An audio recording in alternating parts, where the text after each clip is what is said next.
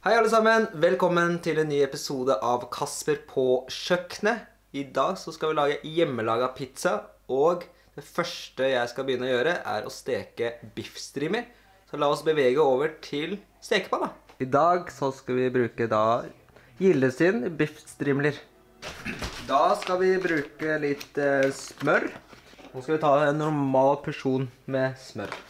Så i mellomtida, mens jeg da skal åpne opp pakningen, da skrur vi på plata. Så da putter jeg bare da biffstrimene oppi her. Pass på det er en sånn liten eh, Hva heter det? Sånn liten pose som man helst ikke vil ha med. Så er det egentlig bare å vente til at eh, plata blir litt mer varmere. Så kjører jeg en liten klipp over til at, eh, at ting har begynt å bli litt varmt i platen her. da. Nå gjorde jeg en liten feil. Egentlig så skal man egentlig brune smør litt, og så putte biffstrimene oppi. Eh, det som kan skje litt nå, er at eh, kjøttet da blir litt seigt. Så jeg beklager for det. Da skal vi ta litt salt og litt sort pepper, som er veldig viktig. Også pepper. Da er det viktig å prøve å fordele dette her eh, så godt du kan, slik at alt blir eh, godt stekt. Når det har begynt å steke skikkelig, så skrur du ned plata til sju. Som du ser nå, så begynner det å bli bra. Da stek litt ekstra, fordi det kan alltid være litt um, rått inni. Da. da er de her ferdige. Da setter vi over dette her på siden. Putter egentlig um, biffdrivene oppi en, ja, en skål. da. Da skal man bruke Da skal man steke kjøttdeig. Så vi putter oppi. Legger vi stekepannen til sida fordi vi skal bruke hacket, da. Setter vi til, eh, til sju på plata fordi denne den her er jo allerede varm etter vi stekte biffstrimmen. Hacket er jo en veldig kjekk ting å ha fordi den um, hakker opp kjøtt deigen i hvert fall. Veldig smått, eller på en veldig bra måte. Prøv å hakke så mye man klarer for å få det så smått som mulig. Når du har fått den uh, størrelsen du vil ha, eller småbiten du vil ha, så kan du da ta bort uh, hacketen og bruke stekespaden som finish. Så er det viktig å eh, steke kjøttet i at det blir ferdigstekt. da. Så jeg kommer til å klippe over nå til at kjøttet er ferdigstekt. Når kjøttet er ferdig, så tar man og putter oppi tomatpuré. Så blander du rundt først, og så tilsetter du vann etterpå. Så må man skru ned plata til seks. Man kan tilsette litt vann, ikke for mye vann, men begynne med litt om gangen for å da se hvor tjukk den blir. For hvis du tar alt vannet oppi, så kan den plutselig få uh, tynt. da. Og da kommer tingen at du da tar og prøver å røde inn alt uh, kjøttdeigen i denne tomatpureen. da. Og så, når du føler at det blir for tykt nå, så tar du litt mer vann igjen. Og sånn fortsetter du til du har brukt opp vannet helt. da. Ikke alltid man trenger å bruke opp alt vannet, men her så tror jeg man bruker opp alt vannet. Nå ser du at det er litt tykk igjen, så tar vi tilsetter resten av vannet her. Da ser dere at eh, den har begynt å lage sånn der eh, Ja, et eller annet. Sånn det skjønner sikkert bedre enn meg. Nå skal den stå eh, småputre litt. Grann.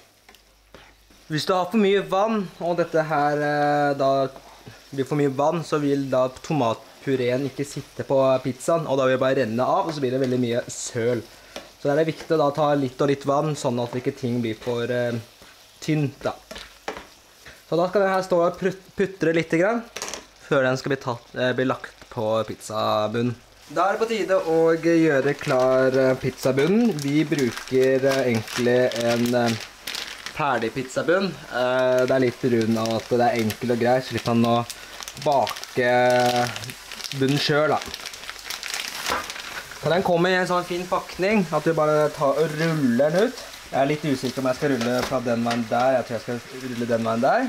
Så det jeg skal gjøre da, er å rulle den ut. Eh, vær litt forsiktig, fordi eh, deigen her sitter jo igjen. Så du må bare få lagt den på da bakpapiret her. da. Når du har gjort det, så kan du ta og rulle veldig forsiktig ut.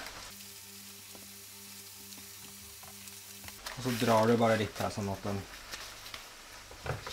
Da er det på tide å putte på kjøttdeigen. Du tar og klasjer litt på og drar litt ut.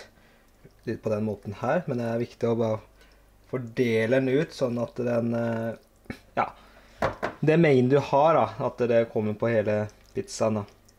Så dette tar jo litt tid, da, så jeg tenkte bare å hoppe, hoppe over til at det er ferdig, da. Så at jeg, jeg har smurt ut, da. Da har jeg gjort det ferdig her. Nei da, det er eh, kjæresten har gjort dette her, da, så litt filmtriks er lov. Men uansett, nå har vi laget, satt på da kjøttdeigen. Så nå trenger man bare ta på da først tilbehøret, som er um, biffstrimene. Det er egentlig å prøve å få fordelt det her fint eh, rundt i, eh, på pizzaen, da helst ta litt og eh, bli litt grisete hvis det er grisete på hånda, men det er for å fordele her de bitene egentlig så der, og så bare på slutten. Så skal vi ha løken. Samme greie her. Jeg kan ta litt mer oppe, fordi her er skjært opp veldig smått. Hadde jeg skjært opp dette her, så hadde det sikkert vært sånne halve løkbiter oppi her. Og det er ikke godt. Så skal man ha mais.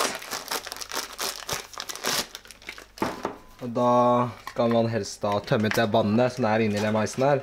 Da var den tømt ut. Da er det bare å ja, fordele maisen så godt du klarer, da. Når du har fordelt den godt, så går vi til neste ting. Nå skal vi ta litt pepperoni. Akkurat samme måte. Fordel det ut, litt sånn jevnt ut. Bare det her ser ekstremt godt ut. Og til slutt så er osten. Du må jo ikke ha da pepperoni eller biffstrimmer. Du kan fylle på pizza, eller ta på det du ønsker å ha på pizzaen sjøl, da. Så hvis du bare har lyst på sjampinjonger eller andre ting, da, så gjør du det. Da er pizzaen uh, fullt og klar, og nå skal den godgjøres i ovnen. Så da bare klipper vi over til, uh, ja, til ovnen. Da putter kjæresten min inn ovnen. Så da er det bare å vente på at pizzaen skal være ferdig. Nå så jeg her var litt ufokusert, men det går greit. Så da klipper vi over til at pizzaen er ferdig.